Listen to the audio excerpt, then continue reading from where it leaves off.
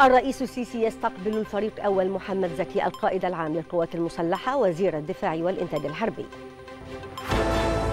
مدبولي يتابع موقف التجمع العمراني الجديد بجزيرة الوراق ويوجه بالالتزام بالبرامج الزمنية لتنفيذه وتعويض المستحقين.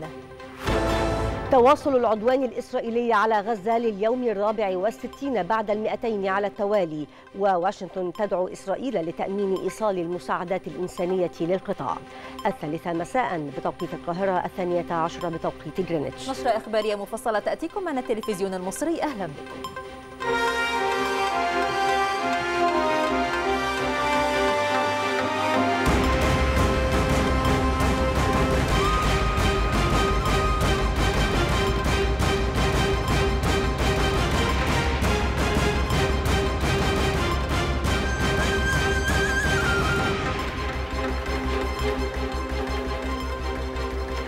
استقبل الرئيس عبد الفتاح السيسي الفريق أول محمد زكي القائد العام للقوات المسلحة وزير الدفاع والإنتاج الحربي. جاء ذلك حسب ما صرح المتحدث الرسمي لرئاسة الجمهورية.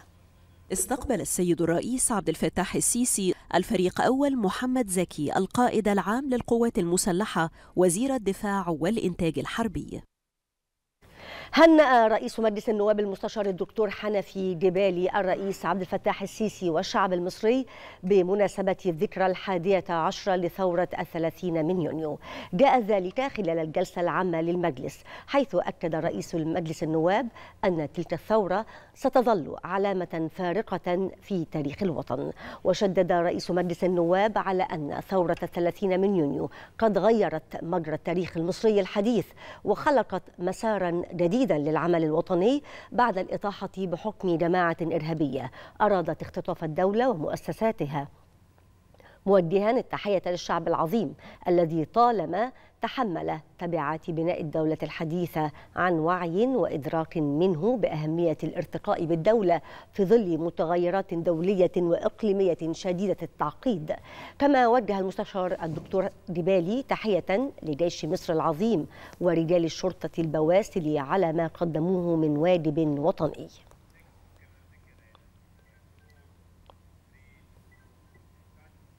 بعث المستشار عبد الوهاب عبد الرازق رئيس مجلس الشيوخ ببرقية تهنئة للرئيس عبد الفتاح السيسي بمناسبة الذكرى الحادية عشرة لثورة الثلاثين من يونيو. وخلال برقية التهنئة أكد رئيس مجلس الشيوخ أن تلك الثورة مثلت حدثا فارقا في حياة الشعب المصري بل والمنطقة العربية والعالم بأسره لما مثلته من نقطة فاصلة في مواجهة قوى الظلام والتطرف والإرهاب. فكشفت حقيقتها ودحرت خطرها وأنهت وجودها. داعيا الله عز وجل أن يحفظ مصر وشعبها الأبي وأن يعيد علينا هذه المناسبة بالخير والأمان تحت قيادتكم الحكيمة.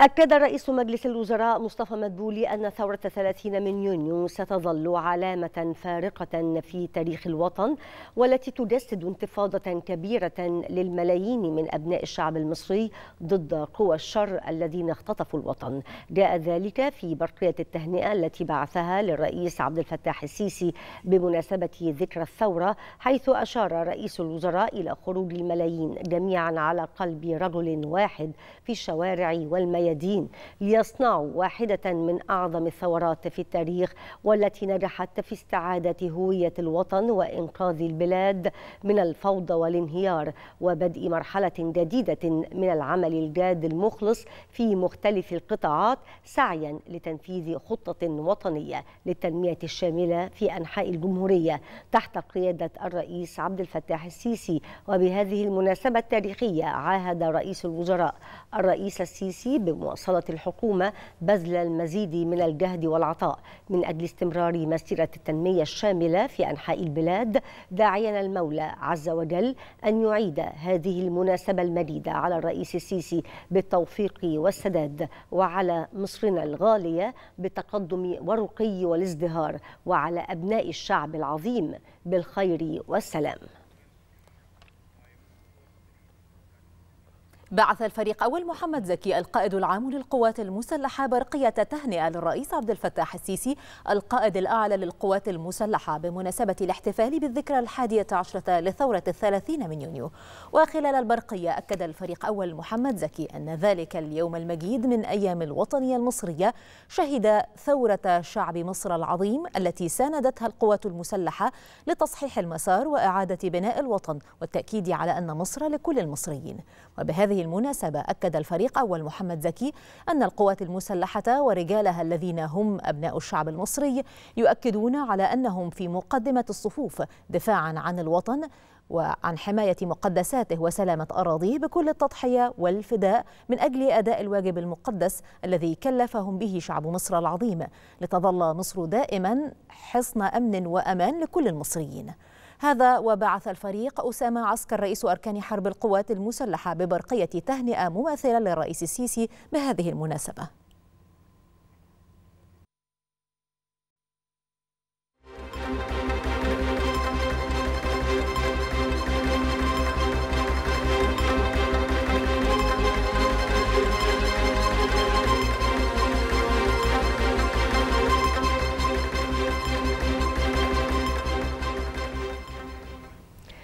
بعث وزير الداخلية محمود توفيق برقية تهنئة إلى الرئيس عبد الفتاح السيسي بمناسبة ذكرى ثورة الثلاثين من يونيو. وخلال البرقية تقدم وزير الداخلية وهيئة الشرطة بأبلغ عبارات التهنئة للرئيس السيسي مؤكدا على أن الاحتفال بتلك الذكرى الوطنية يأتي تجسيدا لنجاح إرادة شعب أبي. احتمى بحكمة قائده. وثار في وجه جماعات الشر بدافع الحفاظ على هوية وطن أهدى للإنسانية منذ فجر التاريخ قيم الحضارة ليسطر بذلك صفحة عز وخلود. ستظل على مر العصور شاهدة على نبل البطولة وشرف الصمود وستبقى على مر الزمان تحكي لقادم الأجيال ملحمة من العطاء والانتماء والفداء لتراب هذا الوطن العزيز.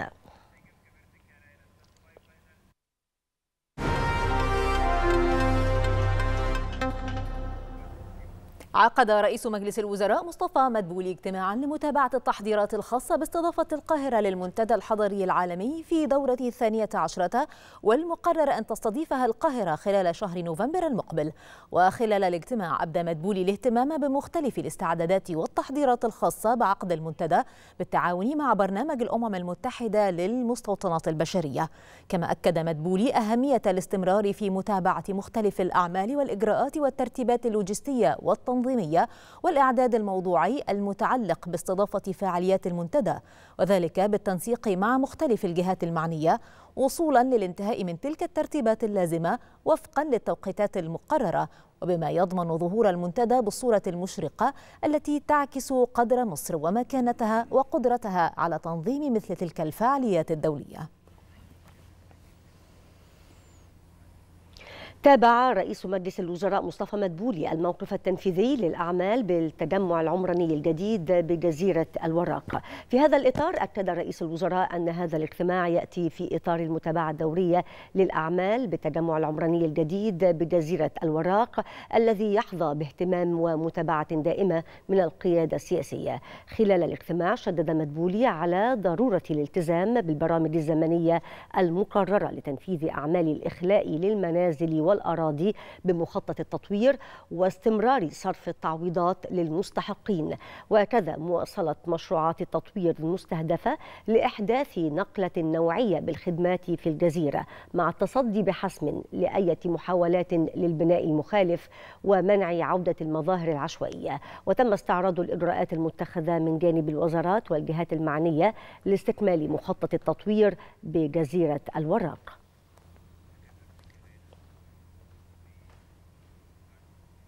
استعرضت وزارة الداخلية جهودها في مجالات مكافحة المخدرات والتوعية بمخاطرها. جاء ذلك بمناسبة الاحتفال باليوم العالمي لمكافحة استخدام المخدرات والإتجار غير المشروع بها.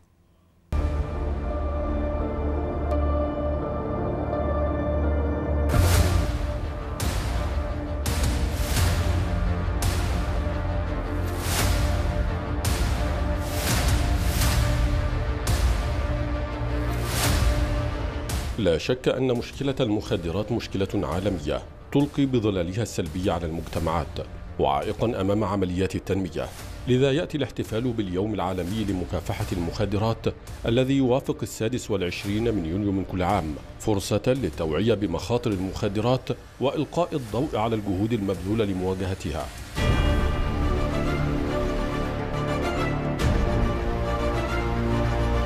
وتعد مصر من أكثر الدول التي تتميز أجهزتها الأمنية بالاحترافية في التصدي لمحاولات جلب المواد المخدرة وقطع مسارات التهريب وحماية دول الجوار من مخاطرها. في ظل تنامي ظاهرة تصنيع المواد المخدرة الاصطناعية خاصة مادة الكريستال والاعتماد على الأساليب الحديثة في التهريب والتوزيع والدفع إلكترونياً.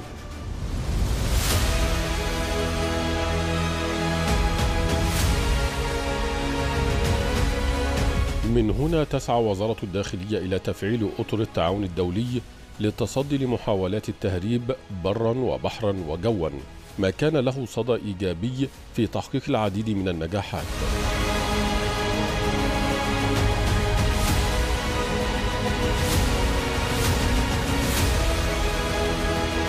حيث نجحت أجهزة وزارة الداخلية خلال النصف الأول من العام الحالي في ضبط العديد من قضايا الجلب والتهريب استخدمت فيها وسائل مبتكرة لإخفاء المخدرات وجاءت أبرز القضايا بمضبوطات بلغت 550 كيلوغرام كوكايين. وتسعة أطنان ونصف الطن من مخدر الحشيش. واثني عشر مليونا ونصف المليون قرص مخدر لعقار الكبتاجون وثلاثة ملايين قرص لعقار الترامادول المخدر. و46 كيلوغرام من مخدر البودر و2 كيلو ونصف كيلوغرام من مخدر الآيس. بقيمة مالية للمواد المخدرة المضبوطة قدرت بثلاثة مليارات ونصف المليار جنيه. وطورت الأجهزة الأمنية من تقنياتها لمجابهة ظاهرة استخدام المنصات الإلكترونية والوسائل التكنولوجية الحديثة في عمليات الترويج ونجحت في مواجهة هذه الظاهرة.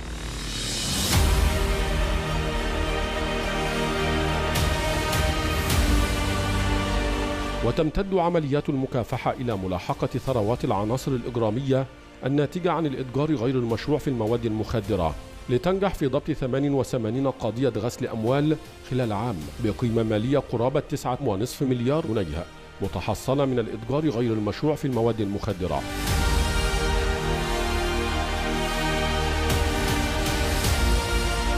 وامتدت أوجه التعاون الدولي في مجال المكافحة إلى حرص مصر على استضافة فعاليات دولية في هذا الاتجاه منها الزيارة السنوية لمسؤولي أجهزة مكافحة المخدرات بدول مجموعة العمل الفرعية الإجرائية الأولى. وكذا المشاركة في المؤتمرات الدولية للتنسيق والتشاور لتكثيف جهود المكافحة. وإيمانا من وزارة الداخلية بأهمية توعية المجتمع بمخاطر المواد المخدرة يتم عقد لقاءات بصفة دورية مع طلبة المدارس والجامعات للتوعية بالآثار والتداعيات السلبية للمواد المخدرة على المجتمع. وتهديد تماسك الأسرة.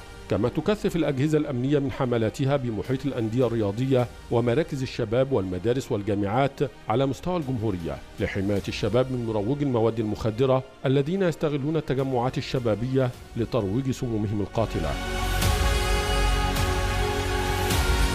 هي جهود متوازنة تقوم بها وزارة الداخلية نحو حجب المواد المخدرة والتوعية بمخاطرها وصولا إلى مجتمع آمن من مخاطر هذه السموم القاتلة.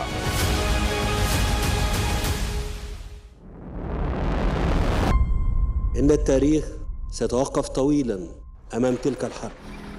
يسجل مأساة كبرى عنوانها الإمعان في القتل والانتقام وحصار شعب كامل وتجويعه وترويعه.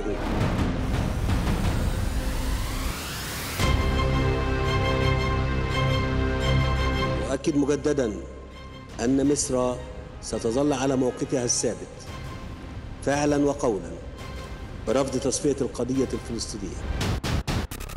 واهم من يتصور أن الحلول الأمنية والعسكرية قادرة على تأمين المصالح أو تحقيق الأمن. يواصل جيش الاحتلال الإسرائيلي عدوانه على أنحاء قطاع غزة لليوم الرابع والستين بعد المئتين على التوالي مع استمرار ارتكاب المجازر وقصف المباني السكنية ومراكز الإيواء. وشنت قوات الاحتلال سلسلة غارات على بيت لاهيا وجباليا بشمالي قطاع غزة. كما نسفت قوات الاحتلال مربعات سكنية في مخيم النصيرات بوسط القطاع ومدينة رفح الفلسطينية بجنوب القطاع. كما استهدفت مدفعية الاحتلال الأجزاء الشمالية الشرقية من خان يونس. هذا وأعلنت السلطات الصحية في قطاع غزة ارتفاع عدد ضحايا العدوان إلى 37718 شهيدا و86377 مصابا مشيرة إلى أن قوات الاحتلال ارتكبت أربع مجازر خلال الساعات الأربع والعشرين الماضية. راح ضحيتها 60 شهيدا و140 مصابا.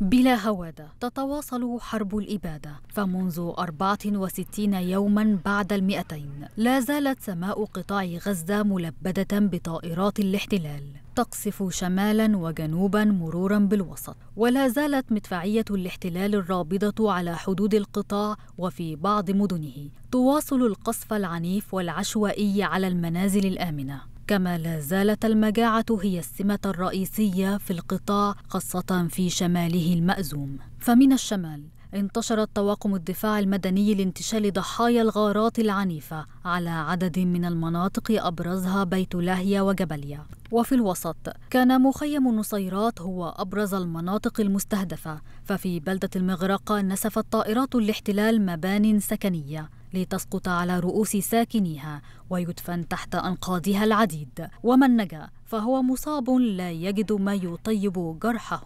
وفي الجنوب كان المشهد مشابها حيث نسفت مدفعية الاحتلال مبان سكنية غرب مدينة رفح الفلسطينية ونشطت مدفعية الاحتلال في الأجزاء الشمالية الشرقية من خان يونس ووسط رفح الفلسطينية لتسجل السلطات الصحية مجازر جديدة.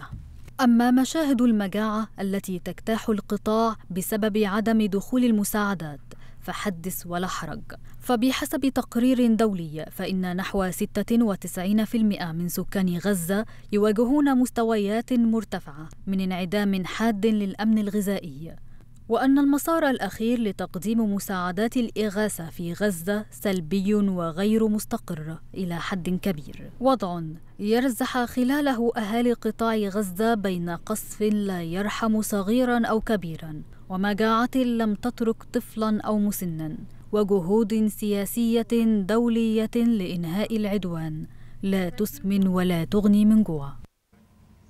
أرقام غير مسبوقة حاولت المنظمات الأممية جمعها عن عدد الأطفال المصابين بإعاقات جسدية جراء العدوان الإسرائيلي على غزة. في هذا الإطار ذكرت الأمم المتحدة في تقرير لها أن نحو ألفي طفل يفقدون ساقا أو أكثر منذ بدء الحرب في غزة وأن الأرقام في تزايد مستمر.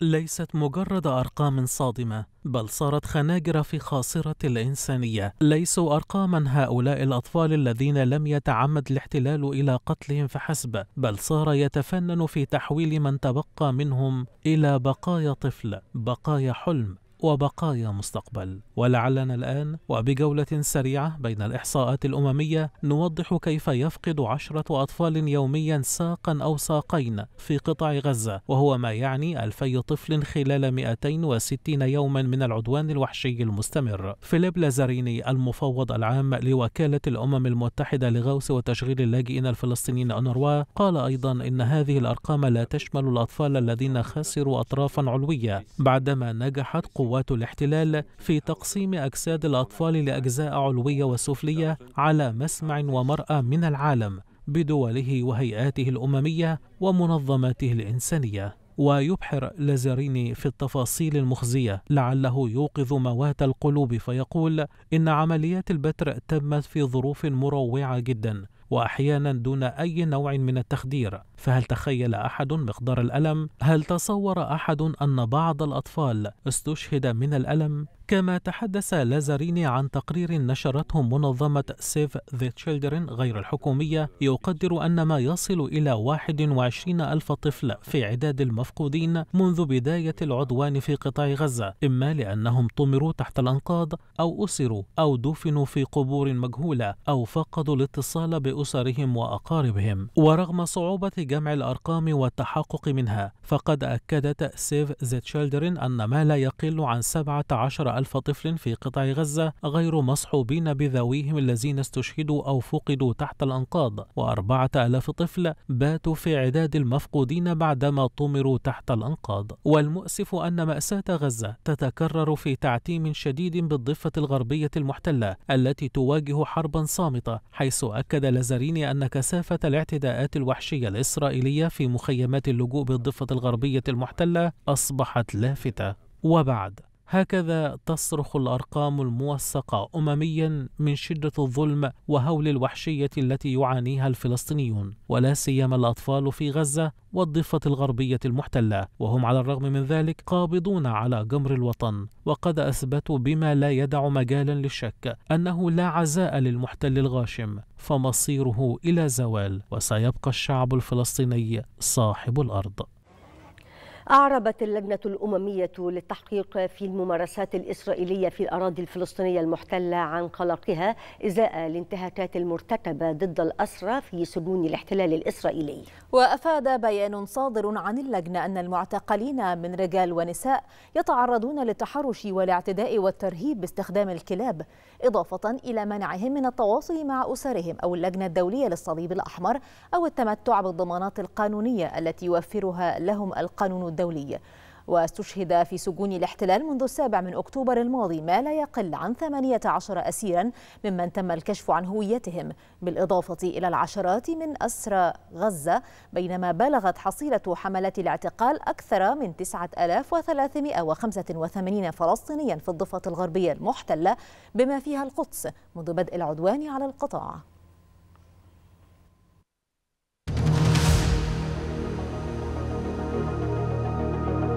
إن مصر أدانت منذ البداية استهداف وقتل الأبرياء وترويع جميع المدنيين من الجانبين وجميع الأعمال المنافية للقانون الدولي والقانون الدولي الإنساني.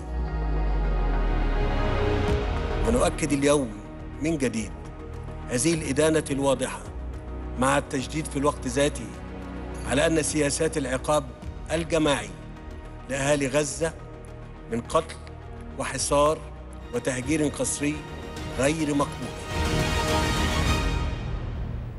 اعتبرت الأمم المتحدة أن المخاطر التي يتعرض لها العاملون في المجال الإنساني بقطاع غزة لا تحتمل مطالبة إسرائيل بزيادة التنسيق الفعال مع منظمة الإغاثة وتسهيل إيصال المساعدات للقطاع. وقال المتحدث باسم الأمم المتحدة ستيفان دوجاريك قال إن العمليات الإنسانية كانت في مرمى النيران بغزة على نحو متكرر وأن المخاطر أصبحت غير محتملة بشكل متزايد. كان الأمين العام للأمم المتحدة أنطونيو غوتيريش قد أعلن الأسبوع الماضي أن هناك انعداما تاما للأمن في غزة مما يعوق عمليات الإغاثة بينما تلوح المجاعة في الأفق.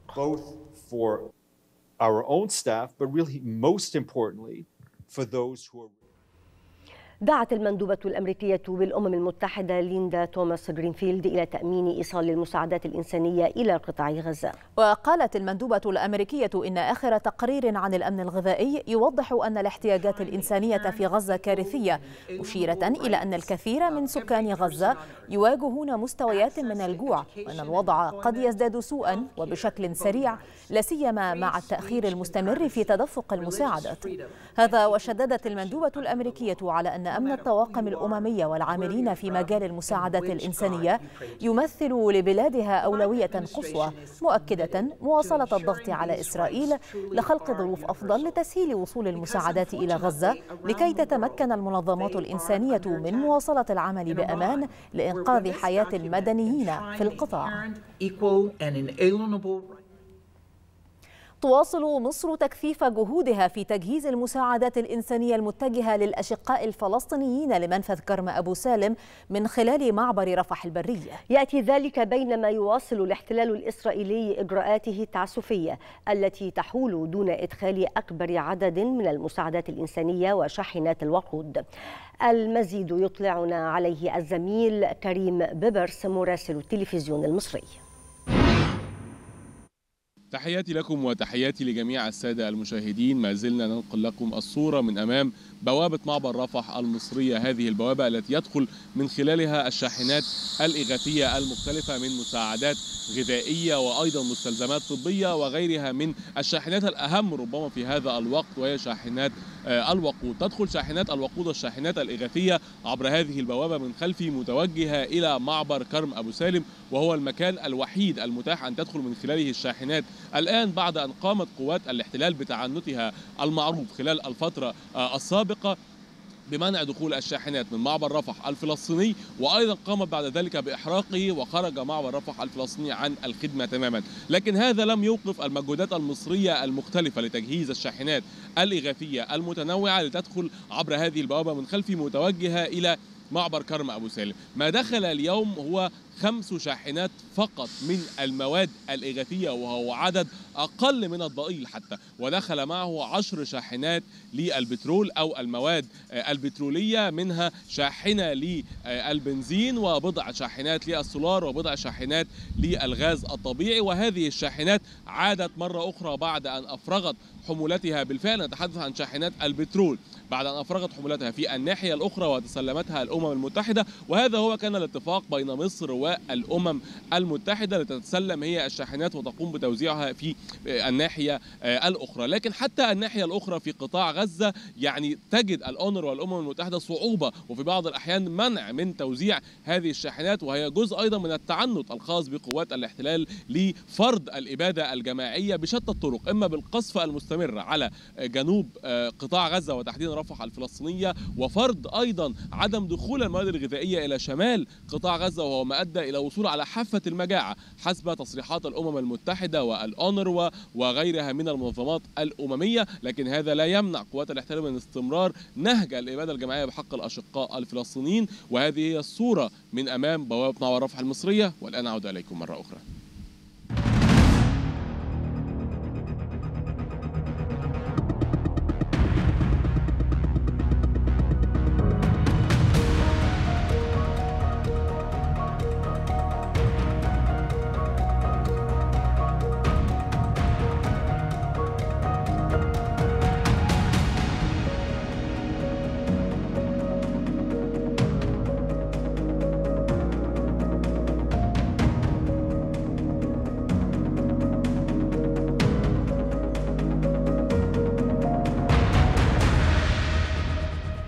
عقدت الأمانة العامة لجامعة الدول العربية برئاسة السفير الدكتور سعيد أبو علي الأمين العام المساعد رئيس قطاع شؤون فلسطين والأراضي المحتلة اجتماعا موسعا بين الأمانة العامة ووفد دائرة مناهضة الفصل العنصري بمنظمة التحرير الفلسطينية. يهدف الاجتماع لمناقشة استراتيجية عمل دائرة مناهضة الفصل العنصري في منظمة التحرير الفلسطينية ومخرجات الملتقى العربي لمناهضة الاستعمار الاستيطاني ووقف حرب الإبادة ضد الفلسطينيين. كما تم استعراض مجالات التعاون والتنسيق في إطار رؤية الجامعة العربية لوقف حرب الإبادة الجماعية وتنسيق العمل في إطار التكامل لخدمة القضية الفلسطينية والقضايا العربية.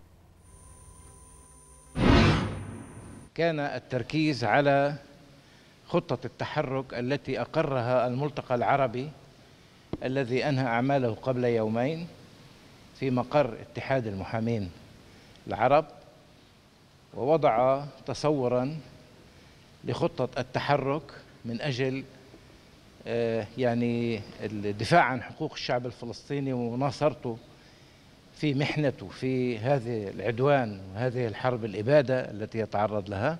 تدارسنا عدة نقاط المتعلقة بالأبارتايد الأبارتايد المسلط على الشعب الفلسطيني في كامل الأراضي الفلسطينية وبصفة خاصة في غزة.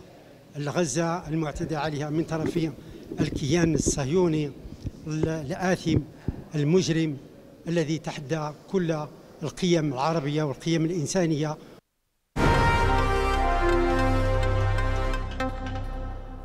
عقد وزير الخارجية سامح شكري جلسة مباحثات موسعة وثنائية مع نظيره اليمني شائع محسن الزنداني في إطار جولة الحوار الاستراتيجي بين البلدين. تناولت المحادثات التعاون الثنائية وخلال اللقاء أكد شكري تأييد مصر لجميع الجهود الرامية إلى التوصل لحل سياسي شامل للأزمة اليمنية. وأعرب الوزيران عن قلقهما من المخاطر المتزايدة للتوترات الجارية في البحر الأحمر وتبعاتها على أمن الملاحة والتجارة الدولية. هذا واستعرض الوزيران التطورات المتعلقة بعدد من الملفات الإقليمية على رأسها الصومال والسودان وسوريا وليبيا فضلا عن الأزمة في قطاع غزة حيث جدد شكري التأكيد على موقف مصر الرافض لسيطرة إسرائيل عسكريا على معبر رفح من الجانب الفلسطيني محذرا من تداعيات التصعيد المستمر بما ينذر بتزايد مخاطر توسيع رقعة الصراع بالمنطقة.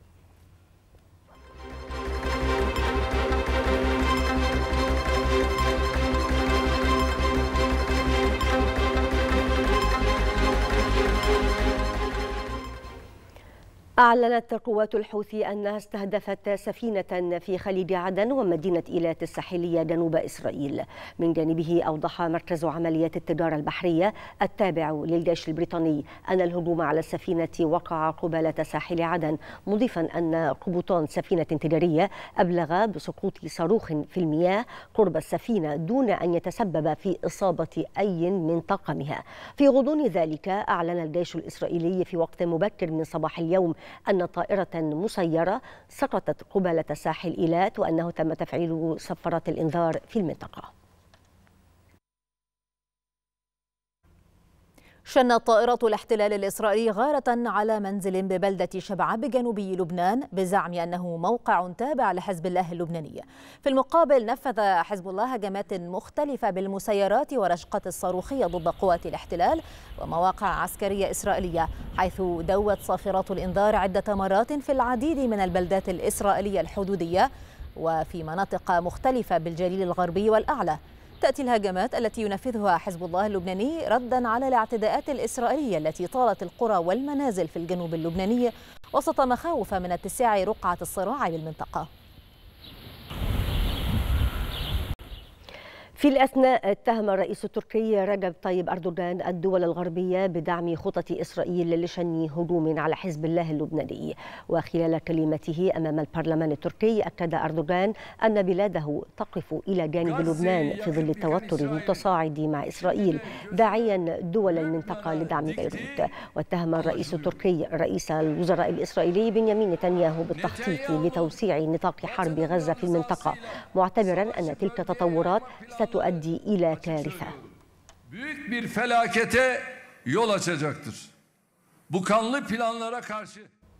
اعتبرت نائبة مبعوث الأمم المتحدة الخاص إلى سوريا نجاة رشدي أن سوريا تمر بأزمة خطيرة داعية إلى ضرورة وصول المساعدات دون عوائق بكل السبل. وخلال جلسة أمام مجلس الأمن الدولي بشأن سوريا أكدت رشدي أن السوريين يعيشون في أجواء من الخوف بسبب الوضع المتوتر لديهم.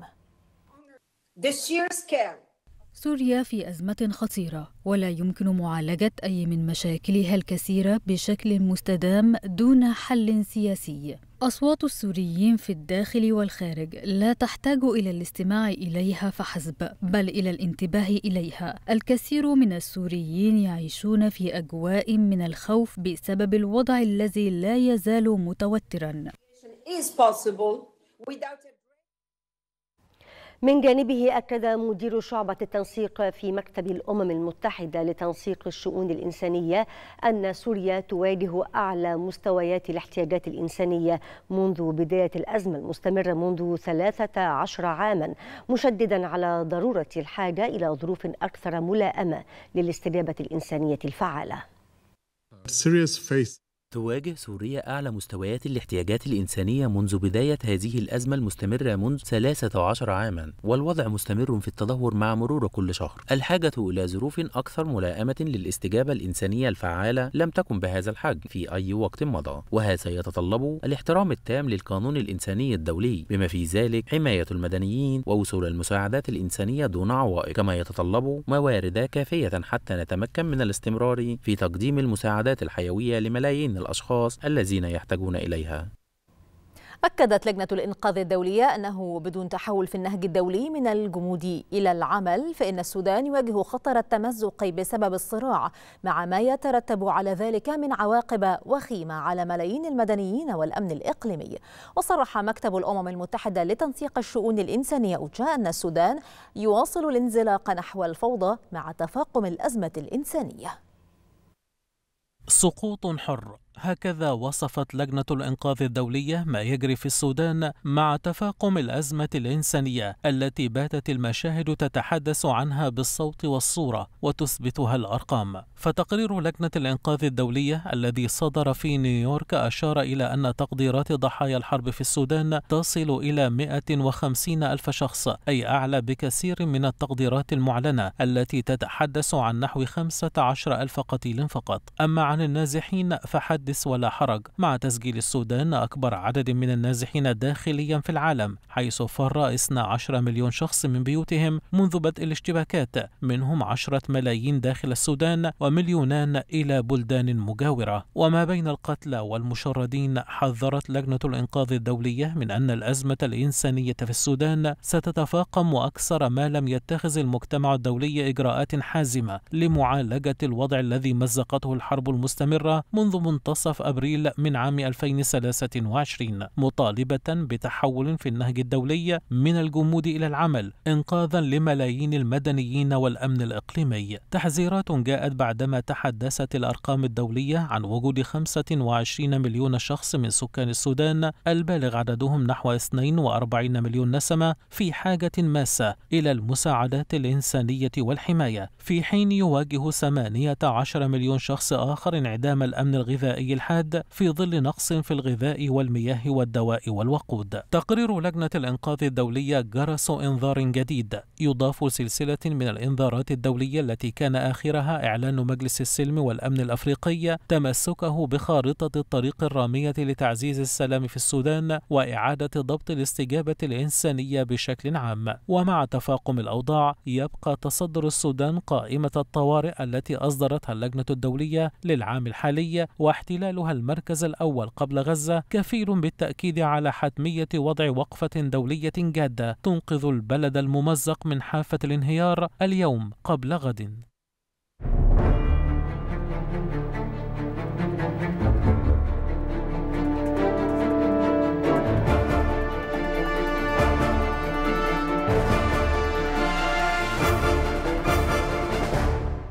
يشارك الرئيس الأوكراني فولوديمير زيلينسكي غدا الخميس في قمة الاتحاد الأوروبي في بروكسل حيث سيوقع اتفاقا بشأن التزامات أمنية للاتحاد الأوروبي تجاه كييف.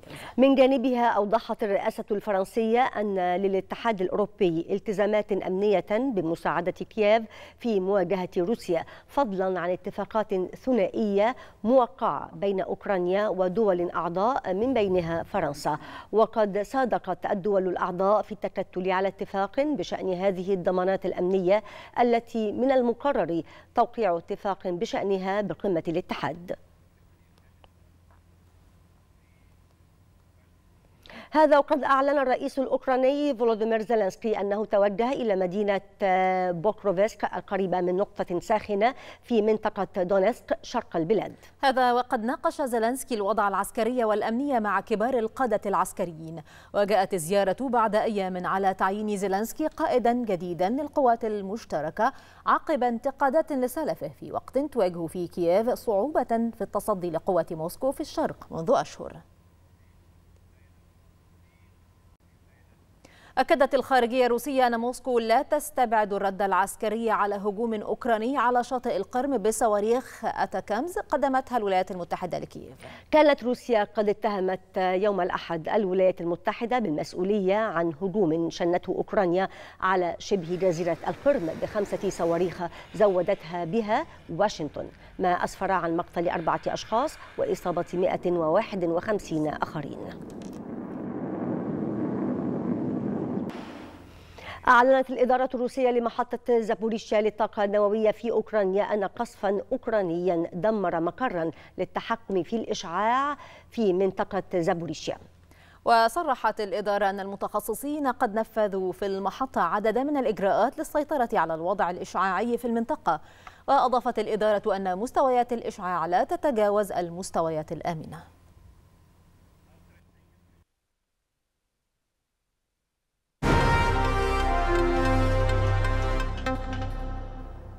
اختار أعضاء حلف شمال الأطلسي نيتو رئيس الوزراء الهولندي مارك روتا لمنصب الأمين العام المقبل خلفا لينس ستولتنبرغ والذي من المقرر أن تنتهي ولايته في الأول من أكتوبر المقبل.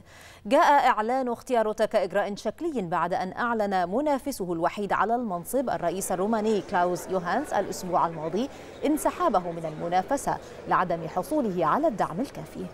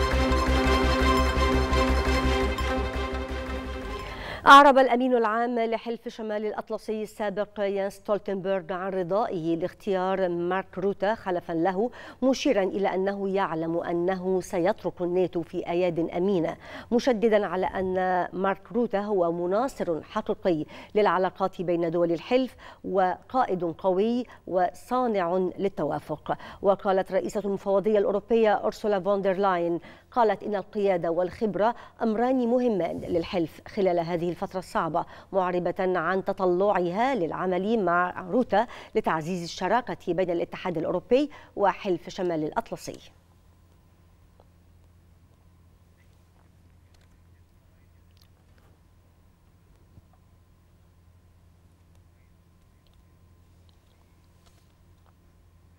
أدانت كوريا الجنوبية والولايات المتحدة واليابان إطلاق كوريا الشمالية لصاروخ باليستي باتجاه البحر الشرقي خلال الساعات الماضية.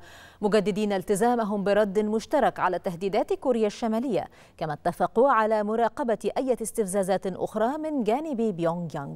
كانت كوريا الشمالية قد أطلقت صاروخا باليستيا باتجاه بحر اليابان صباح اليوم إلا أنه انفجر في الجو وفشلت عملية الإطلاق.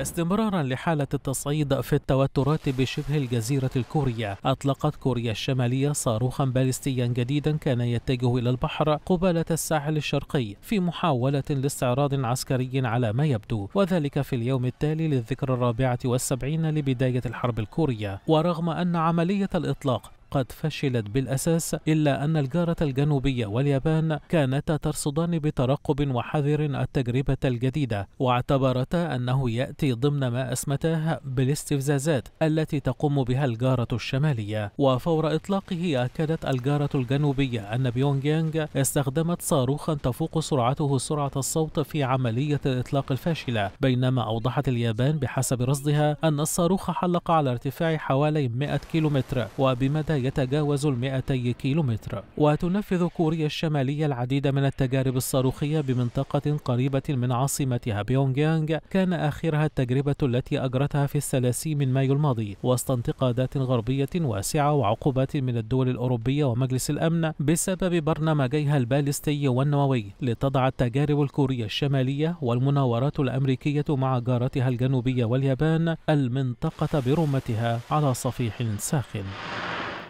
في شأن آخر أكد المتحدث باسم مطار إنشون الدولي بكوريا الجنوبية أن عمليات الإقلاع والهبوط بالمطار تعطلت اليوم لنحو ثلاث ساعات وذلك بسبب بالونات مليئة بالنفايات أطلقتها كوريا الشمالية.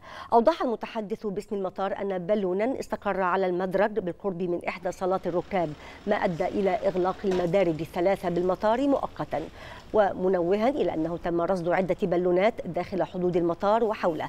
وأضاف المسؤول الكوري الجنوبي أن هذه ليست المرة الأولى التي تتعطل فيها العمليات في المطار والذي يبعد نحو 40 كيلومترا عن الحدود مع كوريا الشمالية بسبب وجود بالونات بالقرب منها.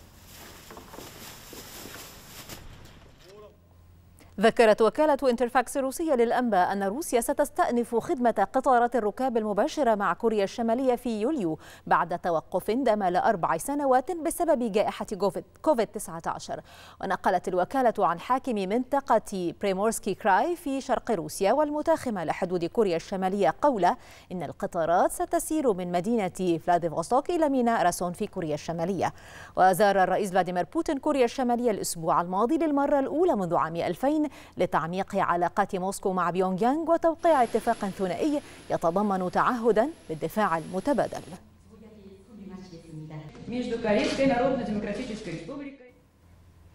أعلنت وزارة الدفاع التايوانية أنه تم رصد 26 طائرة عسكرية صينية بما في ذلك مقاتلات من طراز جي 16 بينما كانت تقوم بدوريات استعداد قتالي مشتركة مع سفن حربية صينية بالقرب من الجزيرة. صرحت الوزارة أنه تم رصد هذه الطائرات العسكرية الصينية ابتداء من الساعة السابعة صباحا بالتوقيت المحلي للجزيرة وأشارت الوزارة إلى أن بكين قد كثفت في السنوات الأخيرة ضغوطها العسكرية والسياسية على تايوان والتي تعد تعدها جزءا لا يتجزأ من البر الصيني. ملفات متعددة ينتظر أن تتناولها. أول مناظرة تلفزيونية بين مرشحي الرئاسة الأمريكية جو بايدن ودونالد ترامب. ويتصدر الملف الاقتصادي الاهتمام الشعبي في الولايات المتحدة فضلا عن الأزمات والتحديات الدولية. يترقب الأمريكيون أول مناظرة تلفزيونية بين الرئيس الحالي جو بايدن الساعي لولاية ثانية وغريمه السابق دونالد ترامب الحالم بالعودة إلى البيت الأبيض مجددا. الملفات الاقتصادية الساخنة تفرض نفسها على مناظرة بايدن وترامب ومن أهم القضايا الاقتصادية الرئيسية التي من المحتمل أن تكون محور النقاش معدلات البطالة وظروف العمل ومن المتوقع أن يتم التطرق إلى استراتيجية الاتفاقات التجارية والعلاقات الدولية التجارية للولايات المتحدة بما في ذلك التحديات مع الصين إضافة إلى خطط الضرائب والإنفاق والديون الحكومية. وتظهر استطلاعات الرأي منافسة قوية ومتقاربة بين الديمقراطي بايدن البالغ من العمر 81 عاما والجمهوري ترامب البالغ 78 عاما مع وجود شريحة كبيرة من الناخبين لم تحسم رأيها قبل خمسة أشهر فقط من الانتخابات ويتطلع ترامب إلى الترويج لسياساته وتقديم نفسه كمنقذ للاقتصاد الأمريكي متسلحا باستطلاعات رأي لا تزال تضعه في المقدمة وينظر إلى المناظرة التي من المقرر أن تستمر لمدة 90 دقيقة باعتبارها مباراة أولى حاسمة لشكل السباق الرئاسي على اعتبار أن المتنافسين شغل منصب الرئيس بالفعل من قبل ولكل منهما سياساته المجربة عمليا لا سيما فيما يخص المشهد الاقتصادي. أطلقت محكمة في جزيرة سايبان بالمحيط الهادي سراح مؤسس موقع ويكيليكس جوليان أسانج. جاء ذلك بعد إقراره بالذنب بانتهاك قانون التجسس الأمريكي ضمن صفقة سمحت له بالتوجه إلى وطنه أستراليا.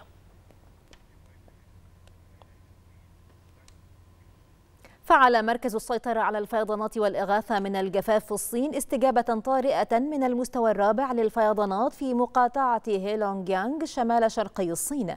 وذكر المركز أن الاستجابة لحالات الطوارئ للفيضانات من المستوى الثالث في مقاطعات تشيجيانغ وأنهوي وجيانغشي وهونان ظلت قائمة. وتوقع المركز هطول أمطار غزيرة على الروافد الوسطى والسفلى لنهر اليانجيتسي مع هطول أمطار غزيرة في أجزاء من هونان وجيانغشي وأنهوي وشيجيانغ في الأيام الثلاثة المقبلة.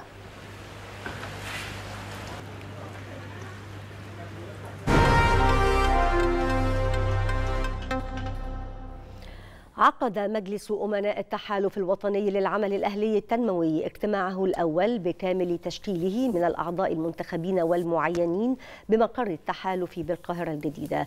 هذا وتم انتخاب كل من المهندس خالد عبد العزيز رئيسا لمجلس الأمناء والدكتورة عهود وافي نائبا لرئيس مجلس الأمناء والنائب محمد الجرحي أمينا لصندوق التحالف. كما تم انتخاب كل من الدكتورة مارجريت ساروفيم والسيد محمود فؤاد عضوين للمكتب التنفيذي للتحالف.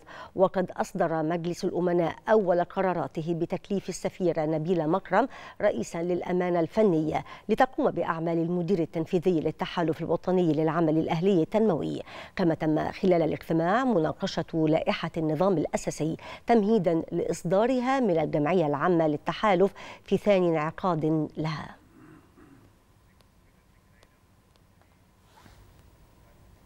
أعلنت الوكالة الألمانية للتعاون الدولي بمصر عن تنظيمها فعالية لمناقشة التحول الحضري العادل في مصر وتسليط الضوء على مفهوم المدن الشاملة والمرنة كجزء من الشراكة المستمرة بين مصر وألمانيا والاتحاد الأوروبي.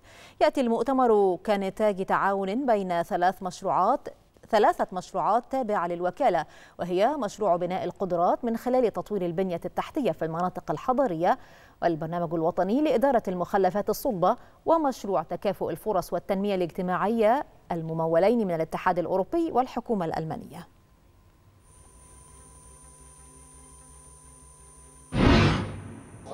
طبعا يمكن النهارده بنتكلم على إن المؤتمر اللي إحنا فيه النهارده هو بكورة نجاحات. صندوق التنمية الحضرية أو نقول مصر عامة مصر وزارة التعاون الدولي وزارة الإسكان صندوق التنمية الحضرية مع الجانب الأوروبي والاتحاد الأوروبي ووكالة التعاون الدولي الألمانية GIZ. هنا بنتكلم على إن إحنا عملنا معاهم مشروعات كتير جدا في الفترة اللي فاتت مبادرات اللي هي بي اي بي البي دي بي السي يو اي دي كل دي مشروعات تمت ما بيننا وبينهم على مدار السنوات اللي فاتت. سعيد بتواجدي هنا. نحن نتعاون مع الحكومة المصرية منذ سنوات في مجال تطوير المناطق غير الآمنة والامتداد الحضاري. وأؤكد أننا نجحنا في إنقاذ حياة الآلاف من المواطنين بالقضاء على المناطق غير الآمنة بل وتطوير ورفع كفاءة مناطق أخرى في العديد من المحافظات ومنها الصعيد وخلق مجتمعات حضرية جديدة. نحن مستمرون في هذا المشروع بالتعاون مع الوكالة الألمانية وشركائنا بالقاهرة. التعاون بين مصر وألمانيا يعود إلى تاريخ طويل وهو تعاون ناجح ولدينا خبرة طويلة في التعاون بين وزارة الاقتصاد ووزارة التعاون الدولي. ونحن فخورون جدا بهذا التعاون. وصلنا مشاهدينا إلى نهاية النشرة. إليكم تذكرة بأبرز العناوين. الرئيس السيسي يستقبل الفريق أول محمد زكي القائد العام للقوات المسلحة وزير الدفاع والإنتاج الحربي. مدبولي يتابع موقف التجمع العمراني الجديد بجزيرة الوراق ويوجه بالالتزام بالبرامج الزمنية لتنفيذه وتعويض المستحقين.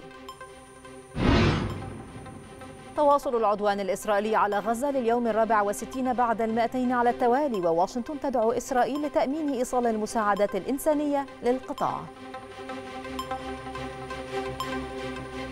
بختام العناوين نصل معكم لختام نشرة الثالثة. شكرا للمتابعة ودمتم في أمان الله.